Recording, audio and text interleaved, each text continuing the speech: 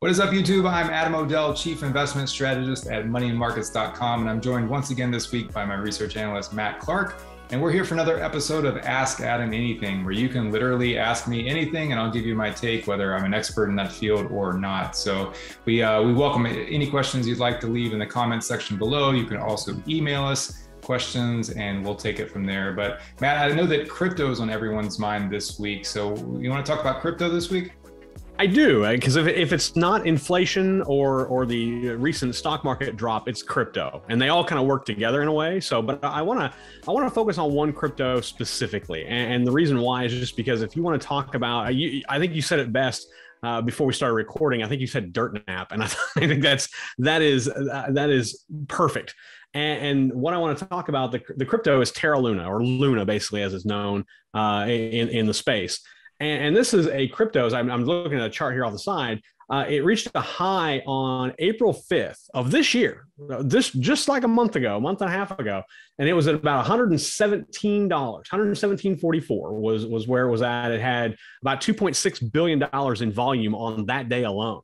Now, fast forward to today, the price of, of Luna, as I look at it right now as we record this, is 0.0001307. So a fraction of a fraction of a penny is how much Luna is. Its volume is still sizable. I mean, it's still decent. It's at about 453 million uh, is its volume at this point, but not nearly where it was at the highs of close to three billion with its volume and a price of you know 117 118 dollars. So I, I want to talk about that. I know you and I aren't necessarily you know experts when it comes to crypto. We know enough to be dangerous, and, and we really lean into uh, one of our one of our, our really really good friends. We'll talk about that here in just a little bit. But I want to get your take on Luna and what you saw uh, over the last, even just over the last week or so. I mean, on on May eighth, sixty five dollars. And then again, we had a, a bit of a, a, a somewhat of uh, an upward momentum move on, on uh, May 10th to 33.65, but it has just been a catastrophic downfall uh, of Luna since since April. Yeah, I mean, there's there's a number of uh, teaching moments or opportunities to learn about uh, the the you know crypto market in general and, and risk assets um, even more generally. And if you have to realize that Luna was selling for less than a dollar in 2020, and it rose all the way up to nearly $120 uh, this year, which is absolutely insane. So I realize I want to balance the opportunity in crypto with some real talk, you know, take the medicine, you know, reality in crypto as well. And, you know, Luna is an example where, first of all, everyone talks about crypto being the antithesis of fiat currency, fiat currency being, you know, currency issued by the government and they point to Bitcoin having like a, a, a, finite supply that's baked into the algorithm. But you have to realize that fiat currency is a game of confidence. So if everyone at the same time loses confidence in the ruble or the US dollar or the euro, uh, then basically that currency can go to zero because, yes, it's backed by the full faith of the US government in the case of the dollar or whatnot. But but really what does that mean? And, and, really the currencies are a confidence game. If there's confidence and, and momentum and, and demand behind that currency then the price of the currency and the value can go up. And if that confidence and, and uh, in, in the currency disappears overnight and there's a run on the bank so to speak then that, that currency can, can go to zero. And that's essentially what happened with luna. So that's lesson number one. I mean crypto is certainly a game of confidence and since there's not necessarily uh, you know revenue or earnings backing up a lot of these projects the way that uh, equities are. And more generally, crypto is a risk asset. So that doesn't mean you should not uh, trade it, but you know a lot of times people think that crypto is designed to trade opposite of the U.S. equity markets. That if stocks go down, then crypto is going to go up, or if gold's going down, then crypto is going uh, you know going to go up. But that's not necessarily the case either. Um, you know, I think a lot of people are starting to see uh, crypto as a for what it is, which is a risk asset, not necessarily a safe haven asset. Um, you know, another teaching moment is that you know look for I, I think we can dub this the the tattoo indicator. Um, you, you, talk you talk about um, you know this idea that when the shoe shine boy is talking about buying stocks, that's that's you know an indicator that there's too much uh, mania, there's too much jubilance in the market, and and it's basically calling the top in, in stocks or a risk asset like that. Well, in January, you know, uh, Michael Novogratz, the, the head of uh, uh Galaxy Digital um, basically a, a, large fund that invests in crypto and, and other uh, ventures. He uh, on Twitter was bragging about this big arm tattoo that he got with Luna, and this, this we'll, we'll put up a picture of it, but Luna and this big wolf howling at the moon, and he tweeted to Do Kwon, the, the the head of uh, Terra Labs that put out Luna, and um, so basically, I think it's interesting because there's a lot of I think a lot of hubris and a lot of uh, you know uh, overconfidence in that that type of action and sure enough, uh, you know, a few few months later, a few short months later, Terra goes from 120 down to down to zero. Um, Novogratz is quoted recently saying that his tattoo is a constant reminder that venture investing requires humility. And he will have that uh, unless he gets it covered up with something else. He'll have that ta- that reminder for the rest of his life. So I was say, that's yeah, a life would, lesson right there. Yeah, yeah, exactly. I would say that the tattoo is the opposite of humility, but um, but that's another teaching moment. You know, crypto is a lot like venture capital. So venture capital, unlike you know public equity markets, where you know usually companies have been around for several years before they IPO or come to the markets via SPAC.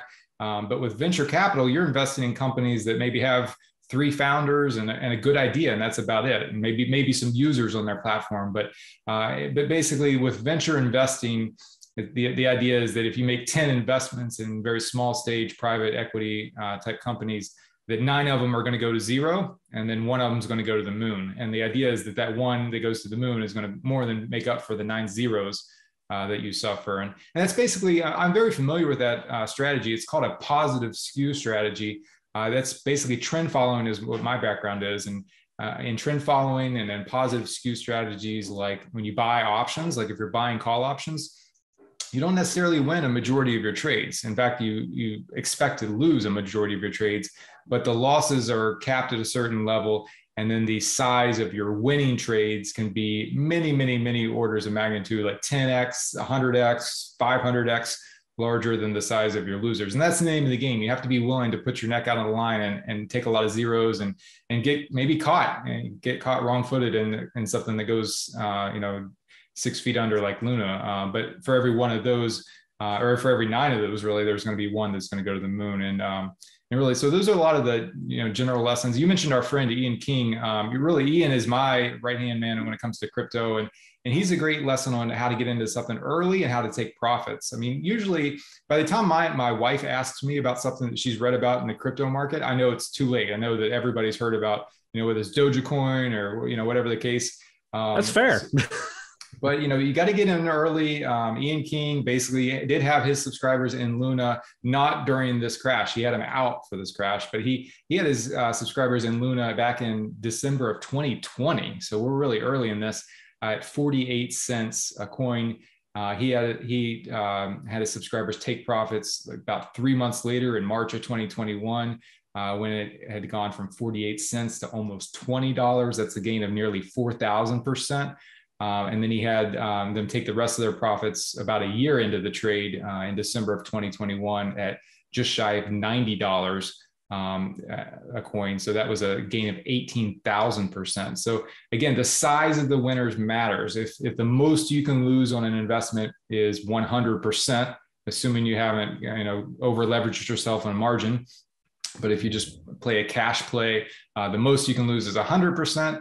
But obviously, if you get an 18,000% gain, that is so many orders of magnitude more than that, then you can more, more than handle a few losers uh, and have more than a few go to zero. And it, it, certainly makes up for that. So I would certainly, you know, I, have I given up on the crypto market? Absolutely not. Uh, you know, will, will Luna pull itself out of this hole? I don't know. That's that remains to be a question. I'm kind of skeptical there, but uh, but certainly there's a lot of altcoins and a lot of you know quote unquote blue chip coins that I think will survive just fine. And it's certainly going to be a nasty bear market. That's what you see in crypto. Uh, but again, Ian King is our expert who, we look to, and, and he uh, continues to have confidence in the ecosystem, and he's taking the long view. So that's where I'd point uh, viewers today and we'll we'll put up a way where you can uh, find out more about Ian, and then he does have uh, a service revolving around crypto, and it is again you, you mentioned Luna in 2020. Uh, he got his viewers in, he got his readers in at 48 cents, and they saw uh, t- twice taking profits, one at, at $20 and another at $90 near $90. Uh, so I'm a massive opportunity there, and there is. I, I, agree with you. I think there's a lot of potential with crypto. Um, I just I just wonder if the market is a little diluted, and, you know, with with so many of them out there now. Realizing that Terra is the blockchain, and the coin associated with that blockchain is Luna. So that's you know there, there's some differentiating thing uh, to to make sure that, that that that you know viewers understand. Um, whenever I say it's Terra Luna, it's because it's Terra is the blockchain, Luna is the, is the currency that is used on that blockchain. Um, but Adam, I, I, think you covered it well. I don't know if you have any parting shots. Uh, uh, obviously, we're still we, we we're still I think we're still bullish with crypto. It's just you know just like with the rest of the market, it's uh, facing uh, facing a, a, bit of a down, some headwinds. Look, like any bear market, it washes out the weak hands. It resets people's expectations. It resets prices, and it gives folks that maybe weren't uh, you know hip to the game, so to speak, earlier on, a second chance to take a look at some tremendous opportunities. And basically, when everybody's given up on something, when there's blood in the streets, so to speak, that's the time to buy. So I'm not necessarily saying that the selling is done. Um, you know, crypto tends to crash, you know, 70 to 90% or more. It's kind of like if you think back to the dot com, I mean, the NASDAQ 100 was down, what, 85 or, or a bit more than 85%. And uh, so what happened? Did, did technology, did, did internet companies go away? No, the, the weakest ones, the crappiest ones got, um, got washed out. And a lot of investor capital got washed out for anybody that piled, piled on too late. Um, but it was a tremendous investing opportunity if you invested in some of the, you know, like Amazon in 2002.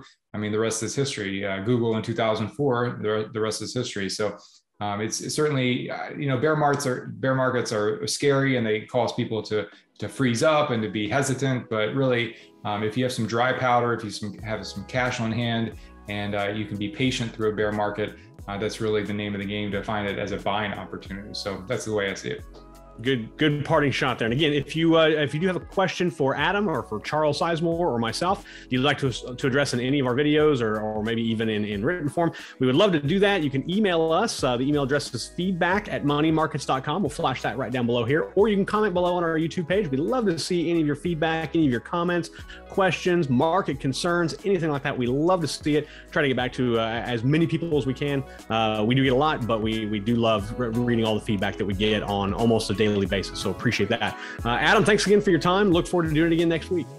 Sounds great, Matt. See you then.